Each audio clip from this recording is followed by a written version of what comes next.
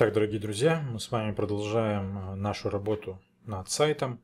И следующим этапом это будет установка шаблона для сайта.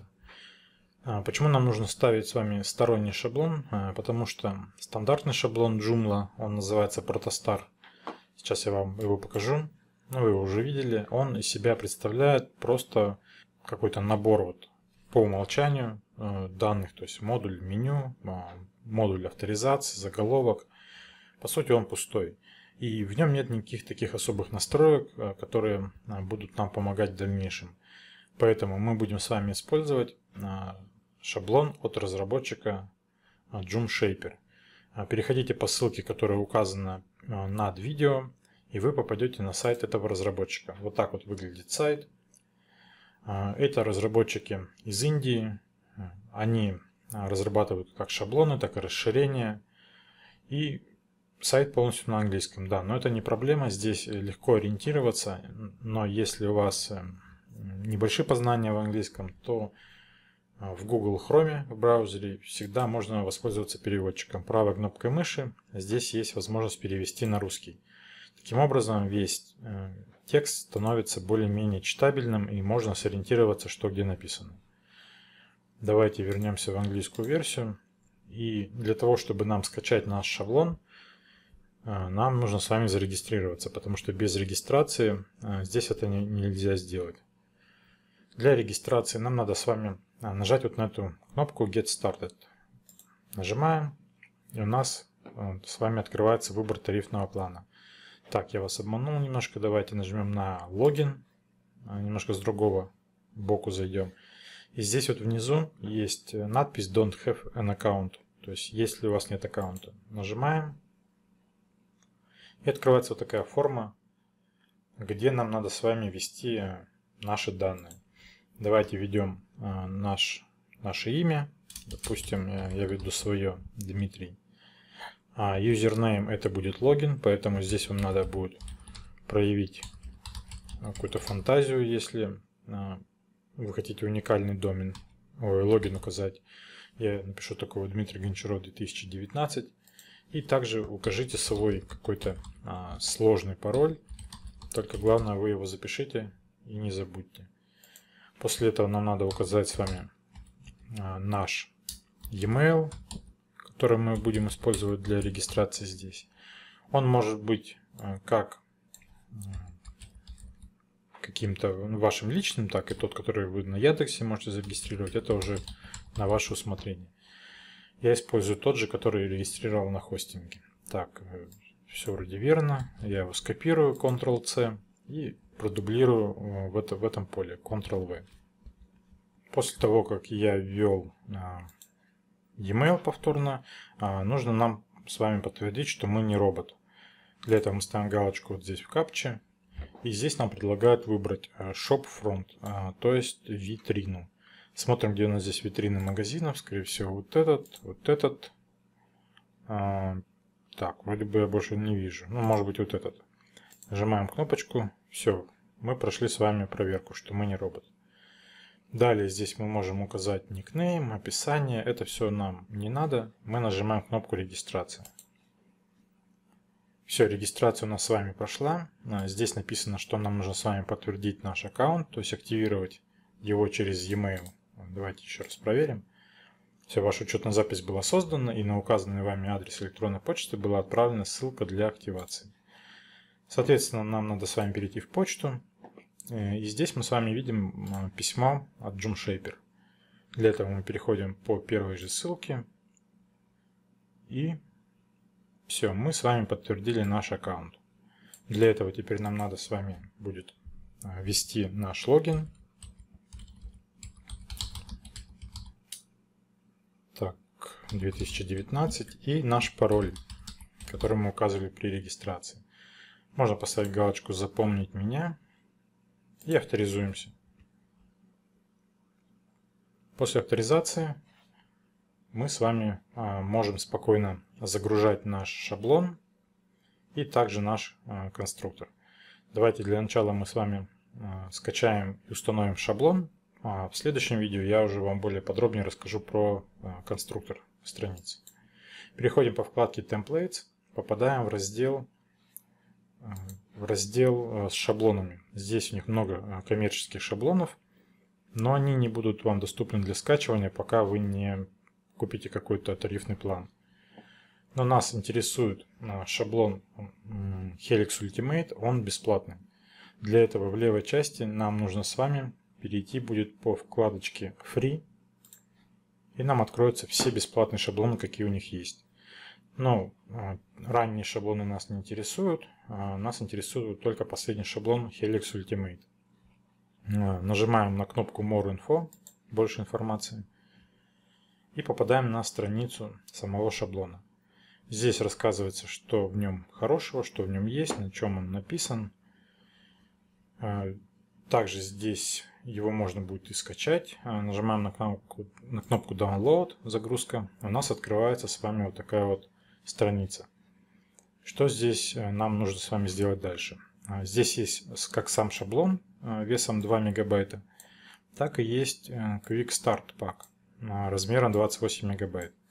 Это как раз таки третий вариант установки Joomla, про который я вам забыл сказать в прошлом видео.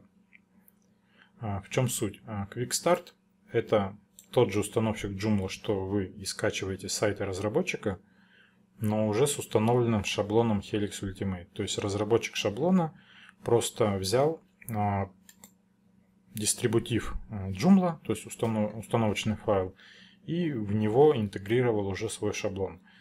То есть, если у нас, допустим, на хостинге Joomla еще не установлено, мы можем зайти сразу же на этот сайт, скачать вот этот Quick Start, установить Joomla на хостинг, и уже там будет установленный шаблон.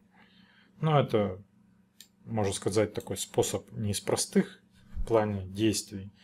А я таким уже давно не пользуюсь, как-то раньше делал так, но сейчас я уже предпочитаю чистую установку а, сайта разработчика. Поэтому мы с вами скачиваем только сам шаблон.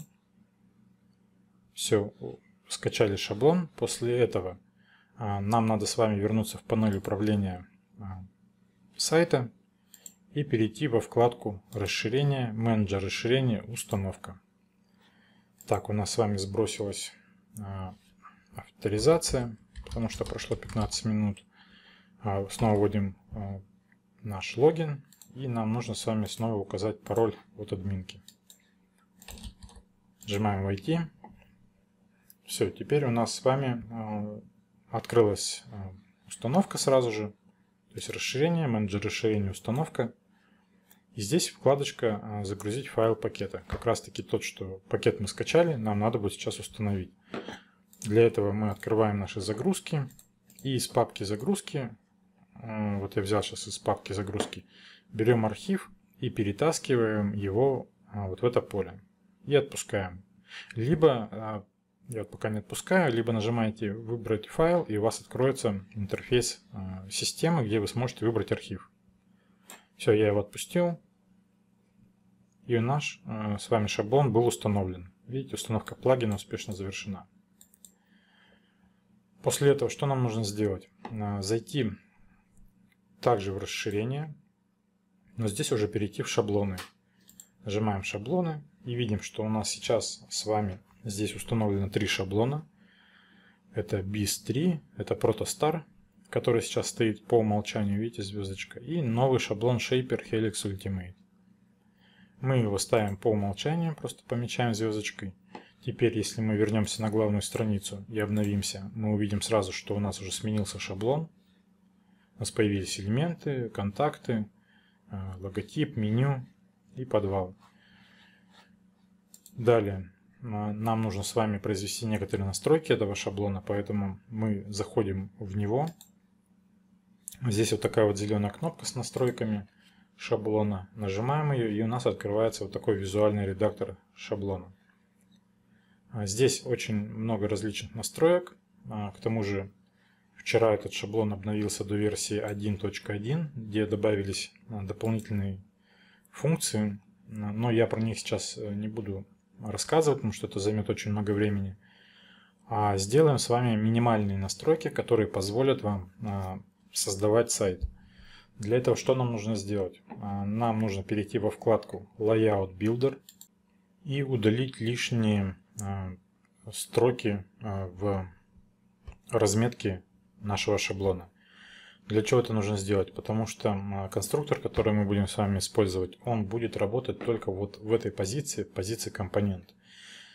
Все остальное на данный момент это лишнее э, и будет нам только мешать э, создавать наш сайт. Поэтому э, я вам сейчас не буду подробно рассказывать, как тут все устроено, все вот эти вот настройки многоколоночные. Это все будет в дальнейшем. А сейчас давайте просто удалим с вами лишние строчки нашей, нашего шаблона.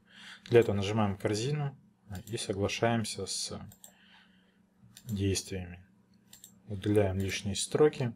Плюс надо удалить нам с вами э, наш хедер, то есть верхнюю часть вот эту вот. Для этого достаточно просто ее выключить вот этим переключателем. И здесь нам надо с вами избавиться вот от левой и правой позиции модуля. Для этого мы с вами переходим в настройки колонок, вот на эту на первую иконку. И нам нужно с вами выбрать одну колонку размером 12. 12 значений. Выбираем. После этого у нас с вами исчезают две колонки, компоненты э, right, правая колонка, остается только левая. И сейчас нам нужно вот эту вот одну колонку назначить э, колонку, колонкой компонента. Для этого мы нажимаем на вот эту вот э, гаечку. У нас всплывает окно настроек, и вот здесь вот есть пункт компонент ARIA. Для этого нужно просто его включить и нажать «Применить» Apply. После этого мы видим, что у нас а, пропала позиция Left и стала позиция Компонент. А, теперь мы нажимаем «Сохранить». У нас с вами здесь все исчезло. А, и в принципе на этом мы с вами настройку нашего шаблона закончили. Перейдем на сайт и посмотрим, что у нас здесь все пропало, осталось только вот заголовок. В следующем видео я расскажу вам, как установить наш бесплатный конструктор, с помощью которого мы будем делать э, наш сайт.